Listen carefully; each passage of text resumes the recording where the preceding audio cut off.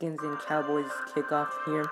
First play, uh, second, the first touchdown here is Jason Witten from Dak Prescott, and I'm recording this video on Saturday, so it's probably gonna be out on Sunday.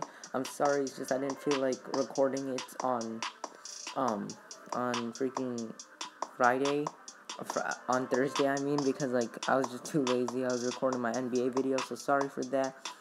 But we're gonna get right into these highlights, and this is a huge punt return. Tress Way punts it, and then Ryan Switzer going to catch it, and then he's gonna run right down the middle across all the red jerseys, and one man to beat, and he is gone.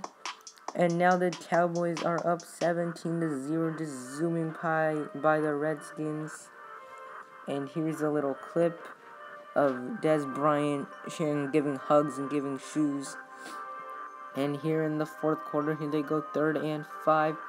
Dak Prescott to Dez Bryant. He scores the touchdown. And the Cowboys go on to win this game.